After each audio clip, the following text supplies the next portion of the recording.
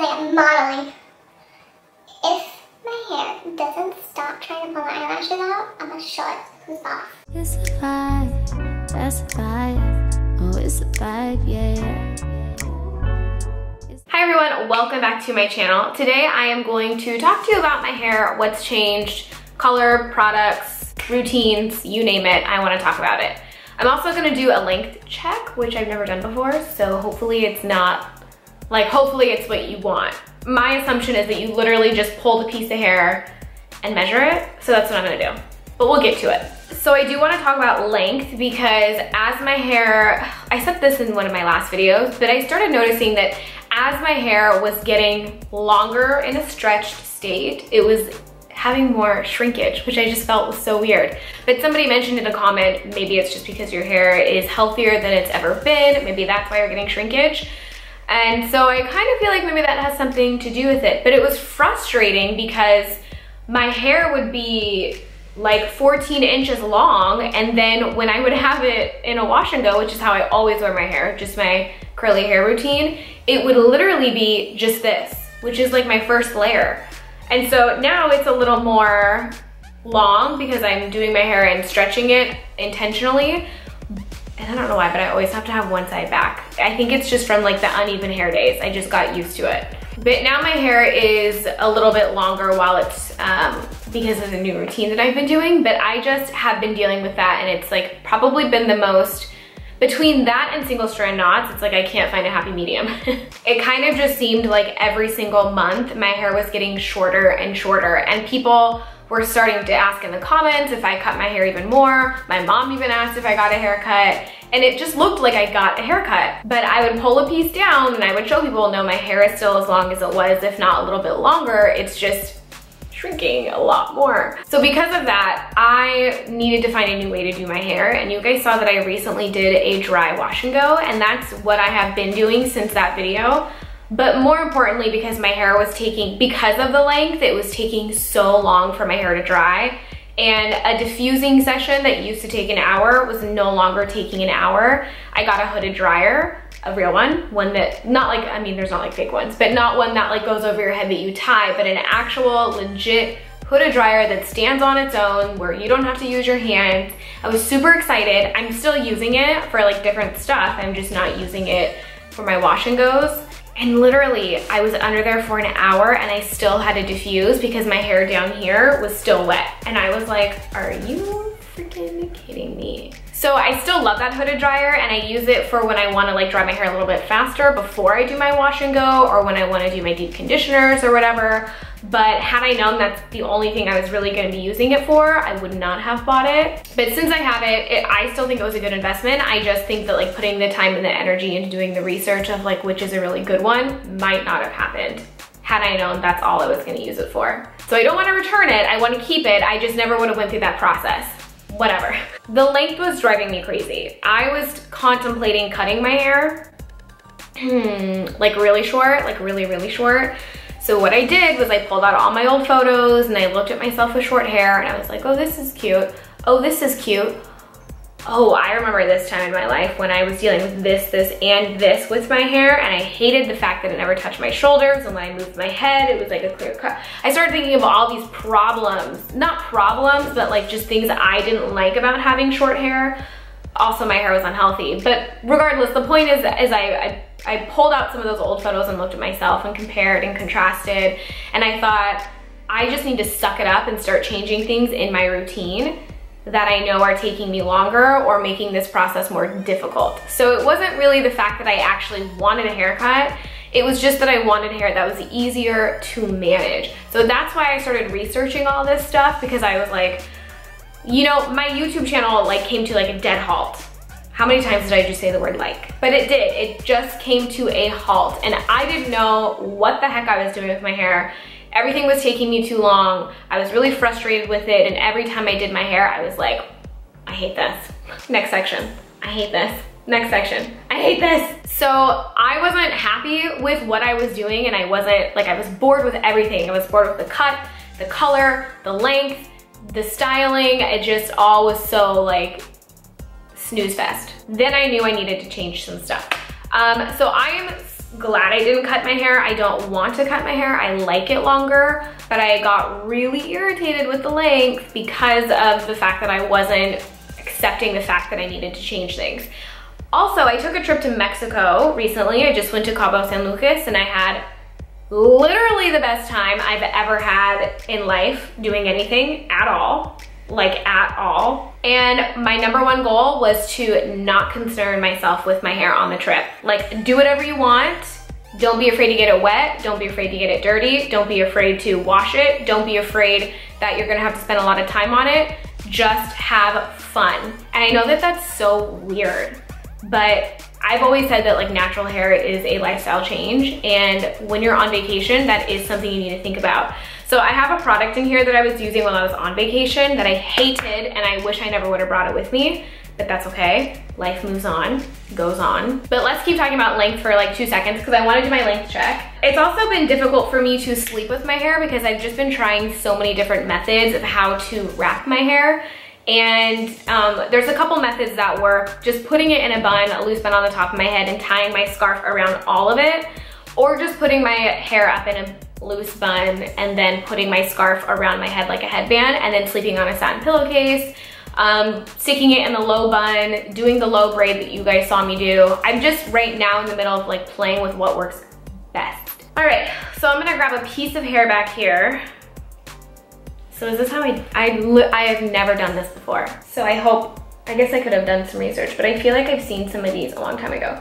So the top of this is touching my scalp. Yes, this is pink because yes, it's from Victoria's Secret. Because yes, I worked there for like two years. And yes, I kept it. so this is the back of my head. And we are at, I think, a little over 16 inches.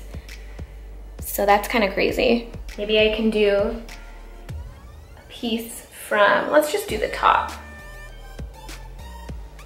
At the top, we are just at 16. I would say more so 15 and a half just because that hair is so like thin at the bottom that it just doesn't count in length, I think, when it's like stretched. Some of you are probably like, girl, it counts. it hit the 16, it counts. Um, let's do bangs. Although bangs I don't really care about because like I want them to be short. I'm also not stretching my hair, I don't think, as much as I like could be, but I don't want to really ruin my curl pattern. Where are we? What is going on? First of all, Lacie, get it together. Hair in front. Where's it at? The seven. I would say seven. Can you see that? I would say seven. Also, that feels like a single strand knot. because it is. Okay, and then let's do, so that was 16 15? 14. Oh, that's funny. That's like all an inch difference. My cats are fighting. Should we go, let's like find a random hair in here. I don't think this is how you're supposed to do this. It's how I'm doing it, okay? All right, so this is like from the side. Where are we? Is that a 16?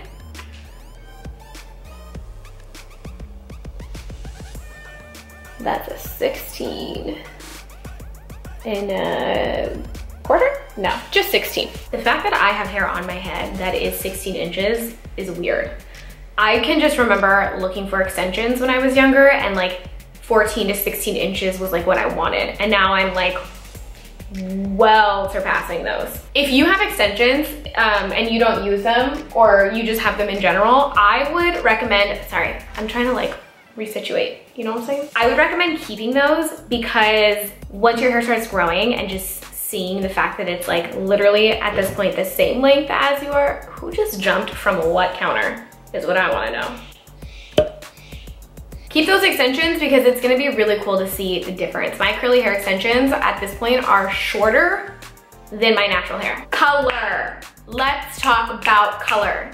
Let's talk about it. You guys know a while back, I don't know when, I'll put it like sometime around date down here, but you guys know that I stripped the black out of my hair. I've had black hair for a really long time. I always went between my natural brown, then I went to like this soft black Shea Moisture color, and then I was like, it was fading very quickly, and so I just went straight up jet black.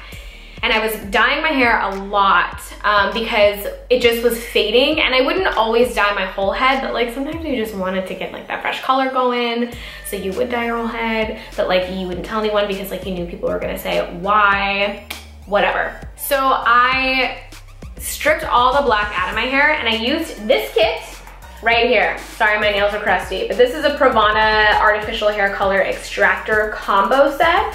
So even just opening this box, it stinks so bad. Rotten eggs, hands down. Well, mm, it's more like sulfur. It just smells like sulfur. I would, I mean, but sulfur smells like rotten eggs. So it comes with your, and I'm just trying to get the bottle right. Part one, artificial hair color extractor. Part two, artificial hair color extractors extractor. So I'm pretty sure you just mix equal parts of this and I have like mixing bowls and hair dye brushes and stuff like that. Yeah, I believe this you use just equal parts of both, but whatever you do, read the directions because it like trust that more than me, right? Like read the directions, I would hope. So this kind of got me to, I took my color out and I felt like it then did like a little more, like it kind of made my hair um, like auburn-ish, but that faded back to just like a normal dark brown color that I had naturally. So um, it kind of gave me a funky color at first and then it just left me with whatever was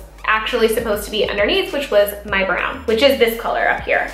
The third thing it comes with is the Pravana um, Detox Clarifying Shampoo. So this is the third thing. And I'm pretty, I believe you're actually supposed to shampoo for like five minutes straight because that's what's really gonna take out all of the color. Um, not the color, but the product.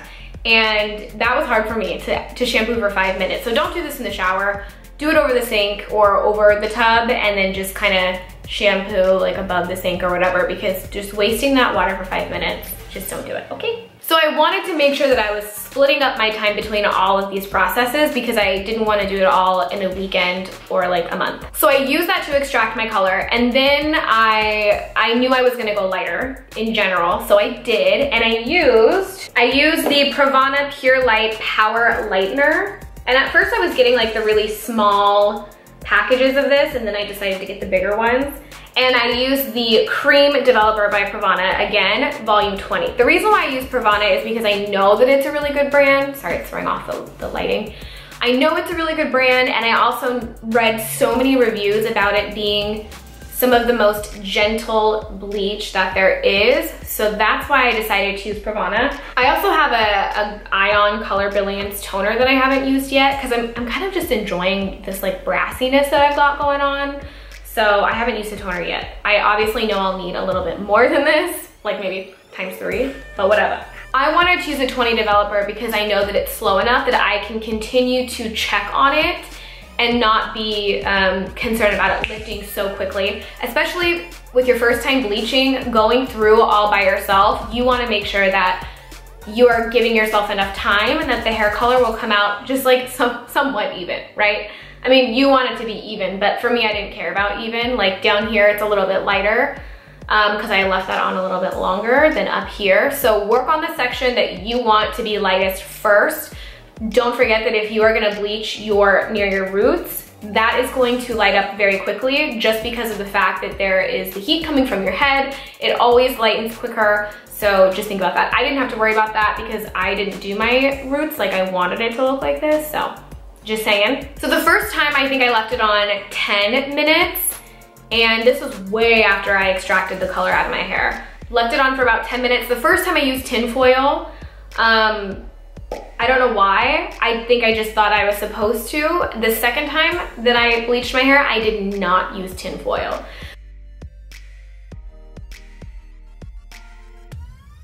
So the first time I, by the way, everything I did on my hair, I did on my extensions first. I dyed my extensions black a long time ago when I dyed my hair black. And then I extracted the color from them the same before I did my own hair. Then I bleached them the first time before I did my own hair. Then I bleached it the second time before I did my own hair because I wanted to see what it was gonna turn out like, how dry it was gonna feel, all that kind of stuff.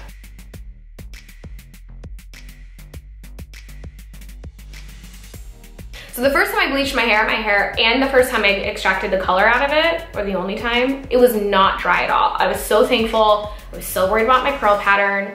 And everything was fine. And then I kind of had this like nice auburn color again. And when I was in the sun, it was very light and I loved it. Um, but I knew I wanted to go lighter. So about a month after I bleached it the first time, I bleached it the second time, which is what you're looking at right now. So everything is much lighter than what it was and I absolutely love it. I do not regret it at all. I was so, so, so, so, so scared to do it and I'm so glad I did. This time I didn't, the second time I did not use tinfoil so that I could watch it and I went up a little higher than I did the first time with the bleach so that whatever was on the ends would hopefully be a little bit lighter than kind of what was in here and then this would be the darkest so that it was a little bit of an ombre effect. I don't know if it really worked out that way, but I'm okay with it and this is just how it looks and I don't mind it at all. I actually love it.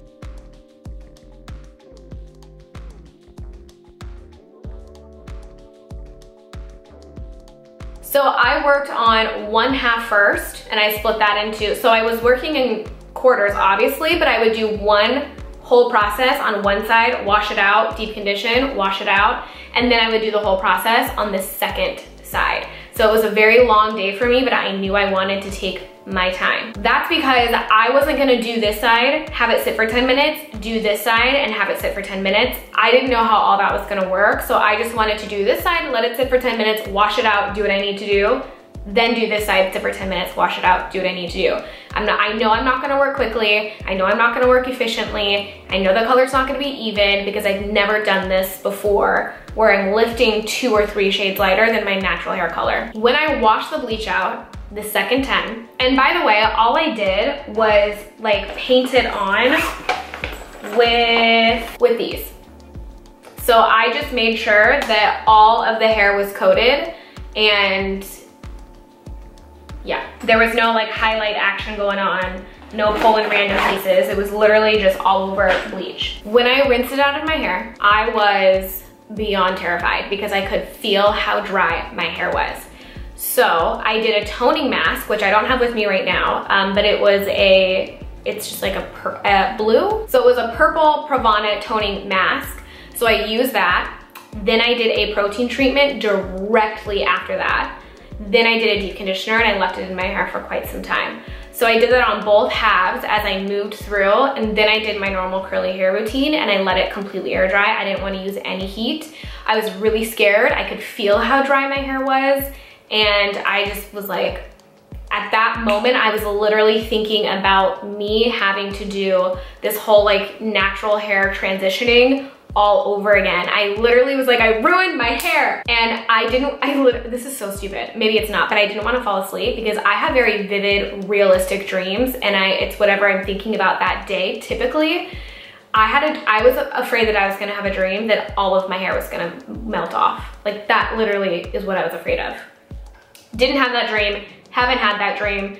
So we're good. Because I usually, like it's so real to me and I wake up and I'm like panicking. Did my curly hair routine as normal, air dried and um, not as normal. I Well, it was a little more wet than I do normally. I could feel that my hair was starting to dry faster like the water was leaving my hair faster. And I was like, okay, okay, this is what we're gonna have to work with from now until who knows when. Your hair is now dry, it feels like straw. And I think I was just freaking myself out. Like I literally just bleached my hair. So yeah, it's gonna feel dry, which I was expecting. But I mean, as time moves on and as time has moved on, my hair has become so much more soft. I've been very careful with what I've put in it, with how much heat that I've been using. And I just think I was psyching myself out. Like I am nowhere near platinum blonde. I've gone two or three shades lighter. I need to relax a little bit. Like life is gonna be okay.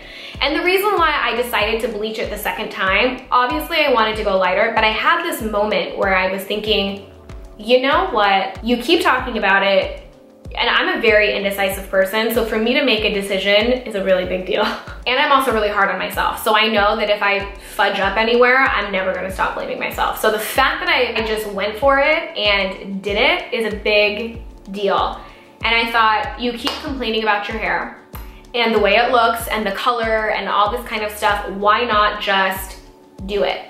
right? Like I was contemplating cutting my hair. I didn't want it anymore, but then I was so scared when I was bleaching it. So it's like, what do you want? Do you actually want to experiment and like do something fun? Because you're just complaining about it and you wanna cut it anyway. So I kind of just, I don't know, I wanted to step outside of my comfort zone and just do it. The first time I did my curly hair routine after I bleached it, I think it lasted just a few days. And I thought, okay, well that's just my new reality now. I'm just gonna have to redo it every few days.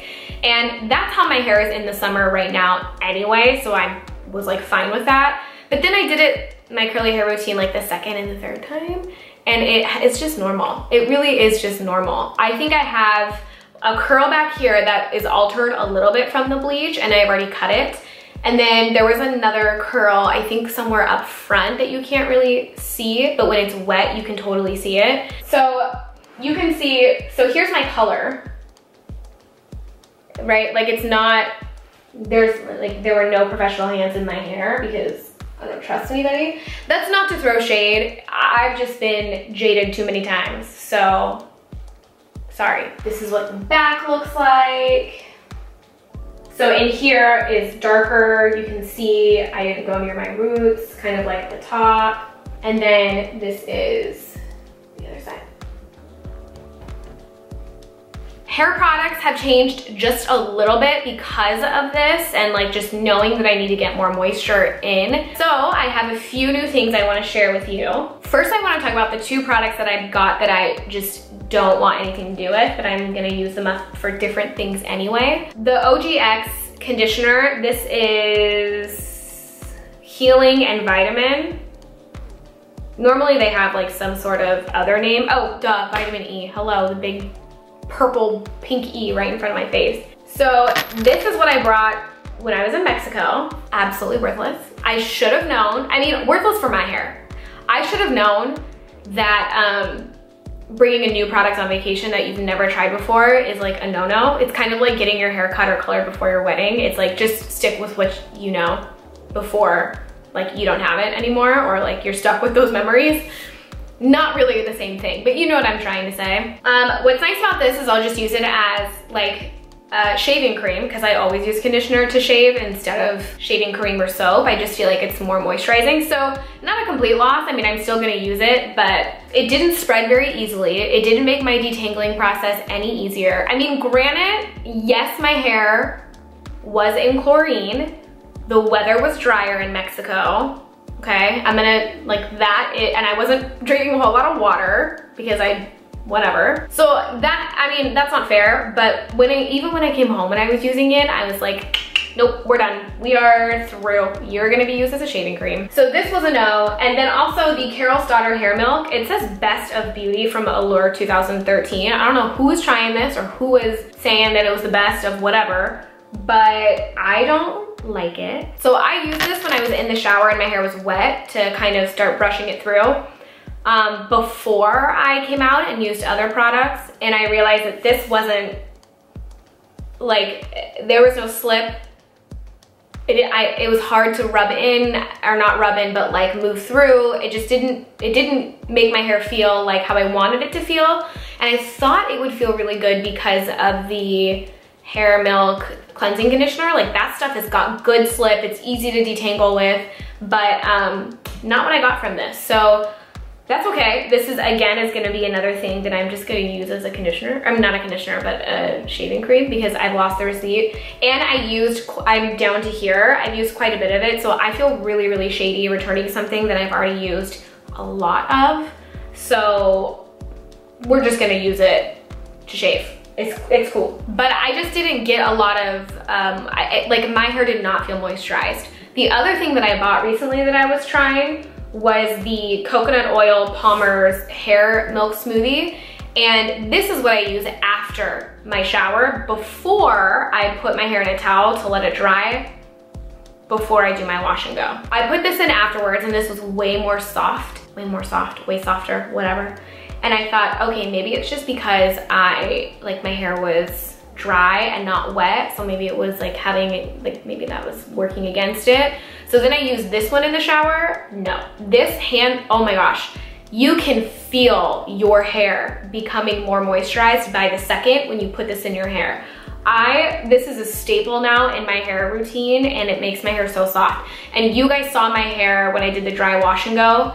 Um, and I had just braided it up and let it go. And a lot of you said that my hair looked really good when I took it out of those two cornrows. And this is why this makes my hair so soft. I never want to go without it. And I don't know how I went without it, to be honest. I really just don't want to leave my conditioner in my hair anymore. I just want to see, like I'm start, I'm feeling a little adventurous now that I've lightened my hair. It's like new hair who dis. And I wanna see what my hair can do with other products, realistically. I just kinda wanna play around a little bit. The other new product that I tried is the Giovanni Eco Chic Hair Care. This is the avocado and olive oil ultra moist conditioner. Talk about those long names. This is so good. The reason, and I'm trying different conditioners too because I love the Trader Joe's one, but let's be real, I hate going to the Trader Joe's by my area. It's just the worst to get in and out of.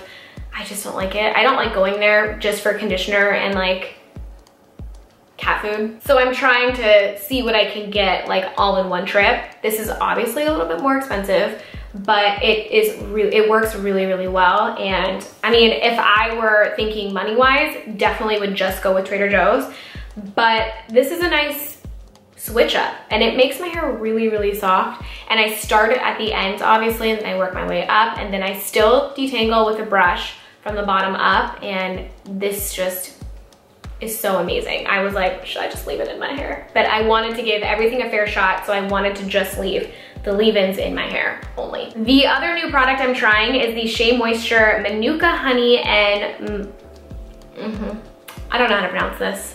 I'm not gonna try. It's an on-the-go conditioning hair fragrance. I wanted to try this for a long time, just the hair fragrances in general, because you know, we're always trying to like get our hair to smell like as good as it can. I don't know, it's just like fresh. Like when I have hair that smells good, I just feel fresh as a damn daisy. I don't know what it is, I don't get it, it's just the truth. So I'm thinking that this is the, the fig that I am smelling in this, but this just smells really romantic and there's this sort of warm, here we go again with me trying to describe it. It's not gonna work. It just smells romantic. It's a little bit more musky and warm than it is like light and fruity. So that's why I picked this one. I just, I love my musky, masculine, warm scents. I just can't get over it. I just need them in my life. This is really conditioning. I think it makes my hair really soft. Sorry if I keep adjusting. I'm sitting on my ankles and it's a habit I'll never break, but it hurts so bad. No sulfates, no parabens, no everything. Basically has nothing in it. I'm not gonna go down the, I just, I can't pronounce half of these. So it's like, why even try? But I absolutely love this. I put this on over my olive oil and so this is just olive oil and why can't I think of the other oil? Jojoba oil. And it's like one third jojoba oil and the rest is olive oil. So I spray this on my hair at night, focusing on my ends, and then I put this on my hair at night and I just wrap it up, go to bed, and when I wake up in the morning, my hair smells so good and it's so soft. For a little while, I tried using um, the leave-in conditioner every night to moisturize and seal, my curls just don't play that game. I can't put any, once my hair is in its curly state, I cannot put any other water in it. Otherwise, everything actually just starts coming apart. And there's more frizz and breakage and tangles and things like that. So um, if you feel like you love to moisturize and seal every night, even if your hair is in its naturally curly state, I'm just saying. And then the two products that I always use that I'm still gonna talk about because they saved my hair, I think, after I was like, oh, my hair is never gonna come back, is the Mixed Chicks Deep Conditioner. I have nothing in here because I transferred it all to a different container so that I could take this one full of hair gel when I went to Mexico. And that was not enough because of how much I was like getting my hair wet. So there's absolutely nothing in here. It's totally clean and I'm just gonna keep it for future traveling things, but I left this in my hair for a really long time. Mixed Chicks has always been my go-to for the deep conditioner. It's the only thing I've ever tried from their line, to be fair, but it's because it's the only thing that seems reasonably priced. I'm not gonna lie. And then the Eco Styler Gel. So I actually went into the Sally's, not near my house. Um, it was by my best friend's house. But I went into that Sally's because I wanted to try the castor oil one and they didn't have it. And I also needed a new gel like the day before because my hair was like one day too far away from the hair routine that should have happened. And um, so I needed to get something and they also didn't have olive oil. So it was either this or like the clear one. And I've never tried that one before and I know I've tried this. So I went with this one. And this is uh, this is just the argan oil one. I got it because I knew I've used it before and I know that I like it. So I got this one and I think I'm actually gonna use this one for a while and not the olive oil one. And I'm just, I just scraped the rest of the olive oil one into a smaller container to actually just use for my edges because I feel like right now in the summer, I need a little more hold and I think I made a mistake for the earlier in the summer by not doing this and not changing it. But I think from now on, when the weather is gonna be humid and I know it's gonna be a little more humid, I'm gonna go with the Eco Styler gel. And not just like your rain humid. Like my hair, for whatever reason, is fine in that like rain humidity when my hair is curly, not when it's straight. But when my hair is in like the heat humidity, I just need like, I, I need more. I need more for my hair products. Summer, Eco Styler, olive oil, every other season. Um, in my next video, I'm gonna do a sort of get ready with me style everyday makeup routine, and I'm gonna talk about YouTube and social media and where I fit into all of that in the teaching world. Some of you might be noticing that I'm not accept that, well, first of all, that my Instagram is now private. It's been for a while, but that I'm not accepting friend requests lately, and I'll, I'll get into that in my next video, but I'm just trying to separate my YouTube life from my professional career life. We'll talk about that, but I just wanted to let you know. So if you have any questions about that, in general, or if you have any questions about teaching, if you have any questions about natural hair, whatever, put those down below because I would like to try to answer some of those in my Get Ready With Me as well. Thank you guys so much for watching. I love you so much, even if you don't love me back. I just punched my Eco Styler jaw. And I will see you guys in my next video.